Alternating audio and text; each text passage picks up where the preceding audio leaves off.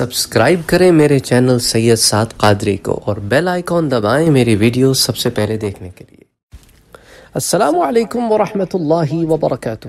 آج کے درس میں ہم بات کریں گے خان لقب کی کہ یہ لفظ خان کدھر سے آیا اور پاکستان میں اور اسپیشلی ناردن ایریاز کے لوگوں میں یہ خان کہاں سے آیا۔ اچھا یہ چیز ہم نے ساؤتھ میں بھی دیکھی ہے۔ ساؤتھ میں بھی ہمیں خان ملتے ہیں۔ پاکستان کے ساؤتھ کی بات کر رہا ہوں، اس طرح مختلف علاقوں میں بھی آپ دیکھیں، ہندوستان وغیرہ میں خان کے آپ کو یہ ٹائٹلز ملتے ہیں، سرنیمز ملتے ہیں، یہ خان آیا کہاں سے؟ تو جناب یہ ترک زبان کا لفظ ہے، اس کا مطلب ہوتا ہے بادشاہ یا سب سے بڑا سردار۔ یہ صرف منگول بادشاہوں کے لیے خاص طور پہ استعمال ہوتا تھا۔ لفظ خان، اسی طرح خا خان اسی طرح خاگان، اسی طرح خاغان۔ اسی طرح اور مختلف تلفظوں سے اور لہجوں سے یہ بولا جاتا تھا۔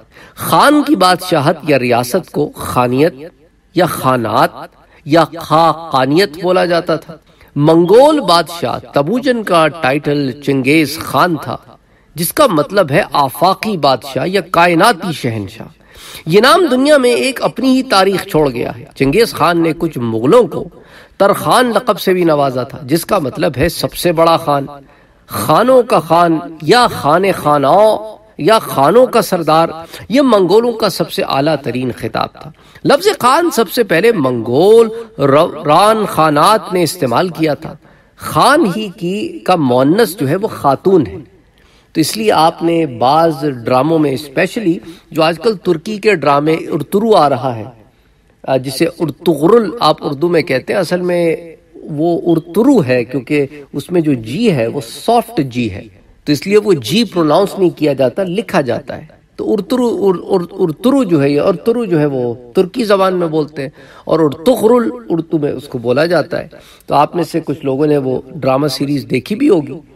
اس کے اندر کچھ ایسی چیزیں جس پر میں آپ سے بات کرنا چاہتا ہوں کہ یہ ترک ہے کون، کہاں سے آئے؟ پھر ان کے اندر یہ جو وائٹ بیئرڈز ہیں، یہ کیا تھے؟ کون تھے؟ کیسے سٹارٹ ہوئے؟ اس سلسلے میں بہت ساری باتیں ہیں جو میں آپ سے کرنا چاہتا ہوں۔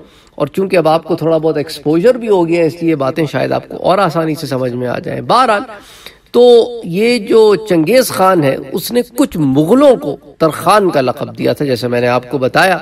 اور مؤنس جو ہے، وہ خان کی کیا ہے؟ خاتون۔ تو اس ڈرامے میں بھی آپ نے سنا ہوگا کہ سلجن خاتون اچھا اب یہ ہے کہ ترکی میں خا نہیں بولا جاتا۔ ان سے، ان کا جو زبان ہے، اس میں خا نہیں ہے۔ تو اس لیے وہ بولتے تو خاتون ہیں، لیکن کیونکہ ان کے پاس سافٹ خا ہے، اس لیے وہ آپ کو سننے میں خاتون خاتون سنائی دیتا ہے۔ تو اسی لیے وہ ہے خاتون دراصل۔ اردو میں الفاظ طرح تلفظ سٹرونگ ہے تو مونس جو ہے، وہ خان کی کیا ہے؟ خاتون۔ اچھا اسی طرح ہمارے ہاں ایک اور ورڈ آپ نے دیکھا ہوگا اس پہ کہ خانم۔ یہ خان کی بیٹی کو خانم کہتے ہیں۔ آپ سمجھ لیں فورٹین ہنڈریڈ سے پہلے یہ لفظ صرف سینٹرل ایشیا میں بولا جاتا تھا۔ وہیں کا خاص لفظ تھا یہ۔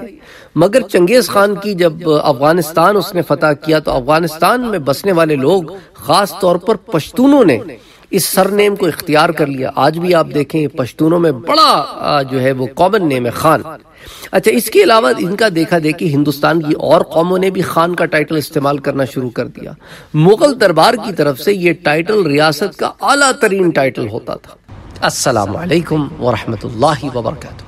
اگر آپ نے ابھی تک ہمارے چینل کو سبسکرائب نہیں کیا ہے تو سبسکرائب کا بٹن دبائیں، بیل کے آئیکن کو پریس کریں تاکہ آپ کو ریگولر نوٹیفیکیشن اپڈیٹ مل سکے اور آپ ہمیں ہمارے لائیو سیشنز میں بھی جوائن کر سکیں۔ ویڈیو پسند آنے کی صورت میں لائک شیئر اور کمنٹ کرنا نہ بھولیں۔